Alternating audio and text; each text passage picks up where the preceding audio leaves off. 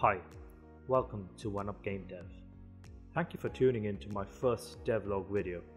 This video is going to be the first of many videos I am going to share in line with my personal projects that I am currently working on. The first project that I am very excited to show you is a fan-made level design project targeted towards The Last of Us Part 2. The goal behind this project was to take a level design idea and take it through a complete development cycle. This meant going all the way from paper design to a completed set with proper art assets in a game engine.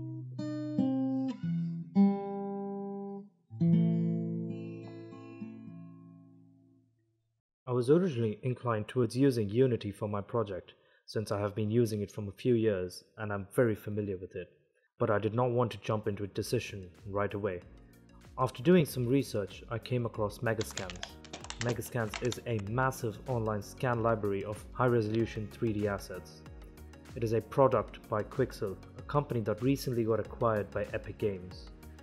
This meant that now all of Quixel's products, including Megascans, were free to use with Unreal Engine. After taking a look at their library, I found that they had thousands of assets which included materials, 3D assets, decals, vegetation, brushes, and a lot more. And the best part about this was that everything was available in at least 4K resolution, while a big chunk also had 8K as an option. While using Megascans with Unreal Engine, the assets are all very dynamic with LODs already set for each asset, plus the Megascans plugin allows the devs to have full control over every single aspect of each asset taken from the library. You can change the color, the normal intensity, wind effects for the plants, and even make this thing called a blend material. I will talk more about blend materials in a future video and explain why it is one of the best things for a person with little to no knowledge about UV unwrapping and texturing. But yeah, after doing so much research on Megascans and realizing that this tool would be great for my project, I had to look no further. I decided to go with Unreal Engine because of its brilliant seamless integration with Quixel's Megascans, and it also enabled me to learn Unreal Engine, an engine that I have used very little before. I decided to make this devlog series after a little progress was already made towards the project. So as of now, the paper design, the 3D blockout in Maya, and a partial set dressing of one of the rooms in the level is already done. I'll talk more about this in future videos. I want to use the next part of the video to give a brief introduction about myself. I am a 23 year old from Chennai, India, with a master's degree in game design. I started studying game development in 2015, but the story began back in 2011 when I was just about 14 years old. Ah.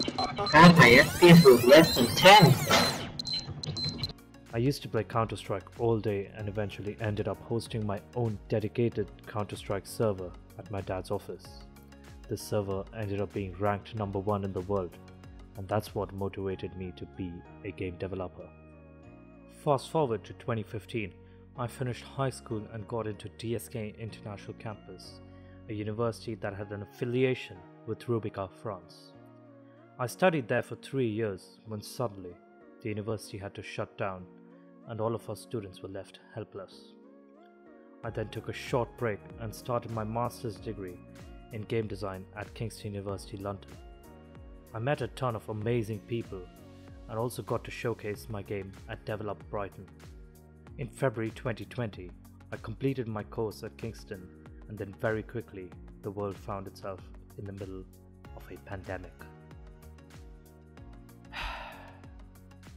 With the ongoing pandemic and me being an international student, securing a job in the UK was getting very hard. I did some volunteering work for a few months in the UK and then had to move back to India.